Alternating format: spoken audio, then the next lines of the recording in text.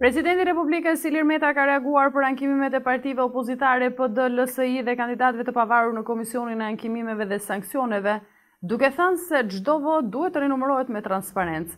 Reagimi me sa duket i vonuar i Metës vjen vetëm pak minuta pasi KAS ka vendosur të rrëzojë ankimimet e Partisë Demokratike dhe LSI për shpalljen e procesit zgjedhor në qarkun e Gjirokastrës të pavlefshëm.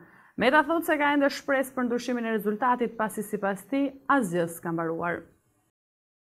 Presidenti i Republikës, Ilir Meta ka reaguar për ankimimet e partive opozitare, PD, LSI dhe kandidatëve të pavarur në Komisionin e Ankimimeve dhe Sanksioneve, KAS, duke thënë se çdo votë duhet të rinumërohet me transparencë. Në datën njëzet e pesë prill dy mijë e njëzet e një të gjithë iu drejtuam kutive të votimit për të zgjedhur, se cilët do të jenë përfaqësuesit tanë në Kuvendin e ri të Shqipërisë. Përpos kësaj dite, që fatmirësisht shkoi e qetë dhe pa problematika serioze, të gjithë ne u bëmë dëshmitarë dhe përditë po shtohen dëshmitë publike dhe provat se ky proces zgjedhor ka patur problematika. Numri i krimeve zgjedhore u rrit ndjeshëm, ku blerja e votës u kthye në fenomen masiv, ku administrata, fondet publike dhe asetet shtetërore u keqpërdorën nga pushtetmbajtë sit për të favorizuar veten e tyre. Një mori kallëzimesh penale janë tashmë të administruara në organet e Prokurorisë dhe të Policisë së Shtetit. Përpara, gjatë, por edhe aktualisht pas ditës së votimit, të gjitha këto denoncime për krime zgjedhore duhet të zbardhen pa vonesë dhe të gjithë ata zyrtarë të çdo niveli, të cilët kanë konsumuar krime zgjedhore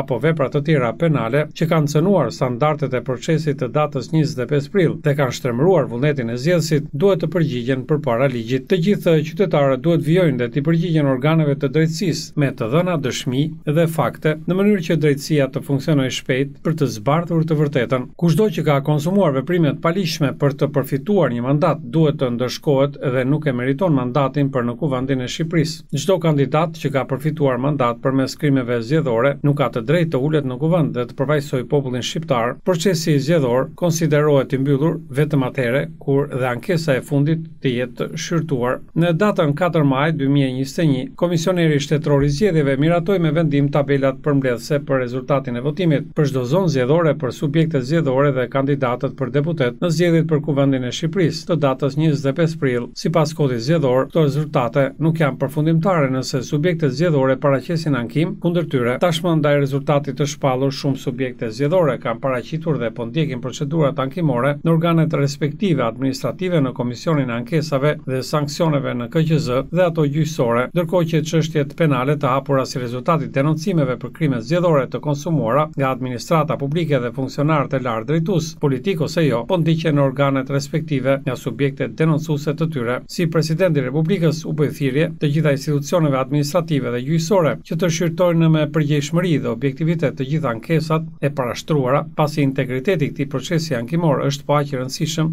sa dhe vetë rezultati i shqyrtimit të këtyre ankesave. Është tepër e rëndësishme që çdo votë të numërohet e rinumërohet me transparencë deri në fund. Sipas Kodit Zgjedhor, është e rëndësishme që çdo fakt material zgjedhor të këqyret e verifikohet me objektivitet dhe paanësi. Asgjë nuk ka përfunduar. Kodi Zgjedhor në nenin njëqind e gjashtëdhjetë e shtatë të tij e përcakton shumë qartë se KQZ shpall rezultatin përfundimtar të zgjedhjeve vetëm pasi të kenë përfunduar procedurat e ankimit sipas këtij kodi. Deri në shpalljen e rezultatit përfundimtar jemi ende në periudhë zgjedhore dhe subjektet politike, përfaqësuesit e tyre, duhet të dëshmojnë maturi dhe qetësi dhe të ndjekin nga afër proceset që ata kanë ngritur.